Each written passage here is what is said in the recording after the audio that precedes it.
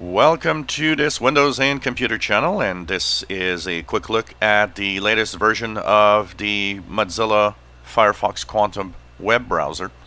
Well now the um, browser is at version 68. It was released a couple of days ago.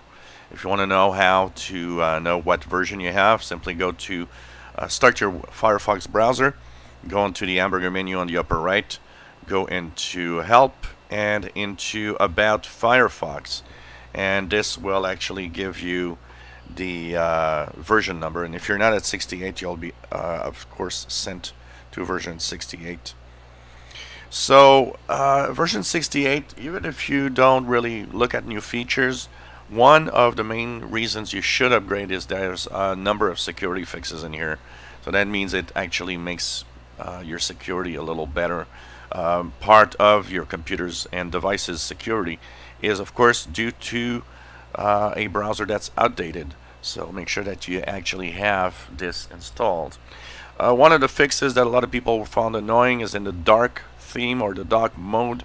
You now have a better dark mode because it wasn't consistent everywhere. So if you're using that it means that it's a little better. Uh, there's also in here a content blocking improve content blocking for anything that will attempt to block crypto miners. So that's also something interesting. They have redesigned add-ons and extensions uh, page. So when you have add-ons that you have on your computer on Firefox. So let's just add here for uh, the uh, for uh, the purpose of the video. So I got an add-on now.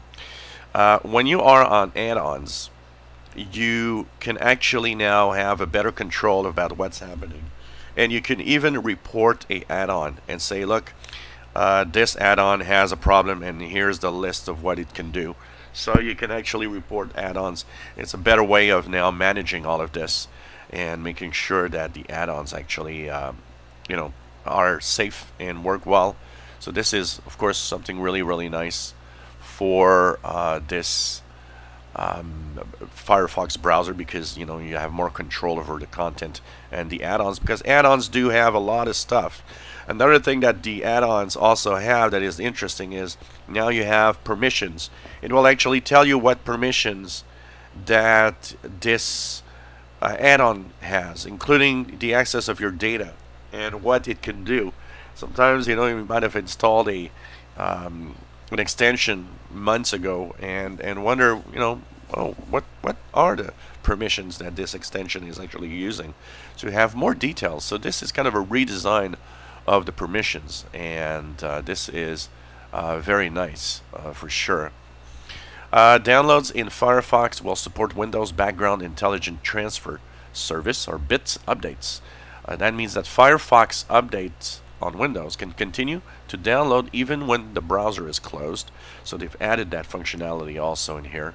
Um, there's new web content accessibility uh, features also. That means that uh, there's more support for different types of standards on the web. And uh, this is pretty much what we have in here. And of course, don't forget the security updates that are important. So uh, make sure that you update to the latest version of Firefox Quantum, version 68, to stay safe on your PC. If you enjoy my videos, please subscribe, give us a thumbs up. Thank you for watching.